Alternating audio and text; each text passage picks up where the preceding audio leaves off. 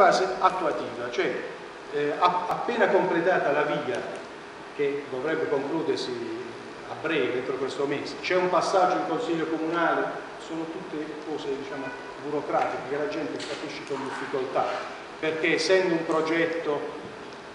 di opera pubblica ci sono delle, eh, delle piazze, delle funzioni che vanno su, sull'arenile, quindi una cosa di assoluta diciamo, dire, eh, dettaglio, tra l'altro condivisibili da tutti diciamo, ai fini della fruibilità delle spiagge eccetera e quindi c'è bisogno di un ennesimo passaggio, il terzo, in Consiglio Comunale per approvare il progetto in variante al PRG. Dopodiché il progetto esecutivo dovrebbe essere redatto, spero, in poco tempo e si va in appalto. Quindi entro fine anno sarà difficile secondo me che riusciamo ad, eh, ad avviare i lavori, ma sicuramente entro la primavera San Girolamo avvierà i lavori ed è un altro progetto di piano strategico, così come la riqualificazione delle case di San Girolamo. Quella, la rigenerazione urbana è uno di, di, di, quegli atti già avviati, è proprio la riqualificazione delle case popolari ACP di San Girolamo, anche quello è stato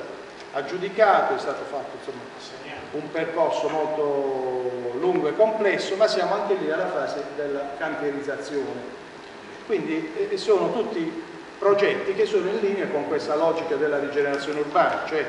per esempio in quel caso c'è l'abbattimento di case popolari diciamo, piuttosto eh, dire, malfunzionanti, obsolete, eccetera, eccetera, e la ricostruzione delle case dell'edilizia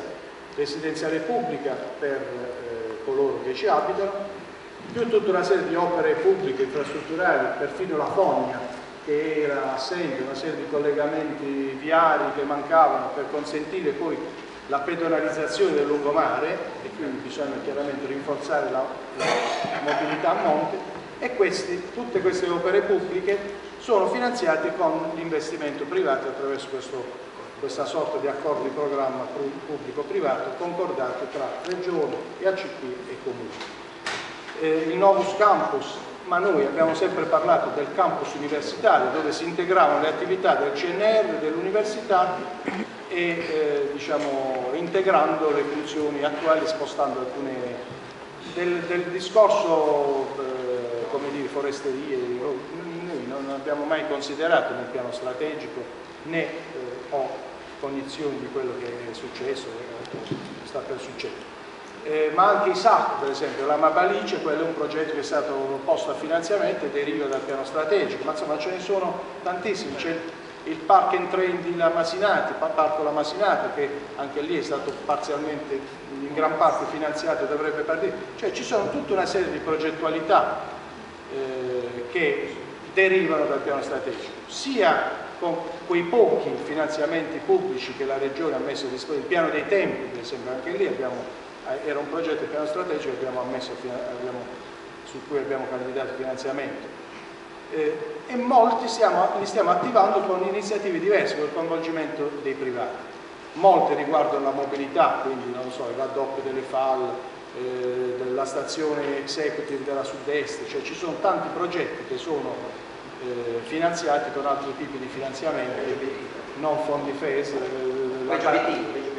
la, la, la, la, Bari Nord per esempio sta facendo grossi investimenti nella, nella zona nord di Bari, quindi il piano strategico è in fase di comunque di attuazione. Non esiste, sono d'accordo, ma cioè, non è colpa nostra eh, che eh, non riusciamo a portare avanti una partecipazione strutturata perché non abbiamo le risorse per farle. Le abbiamo chieste ripetutamente alla Regione eh, che però preferisce utilizzarle eh, diversamente. Per concludere, perché poi i temi sono tantissimi e, diciamo, eh, possono essere poi affrontati singolarmente, L'approvazione del DPP è l'inizio di un percorso che porta alla redazione del, del Tutti coloro che eh, sono interessati, che spero che insomma, con questi due anni di comunicazione più o meno sbagliata, carente, eccetera, però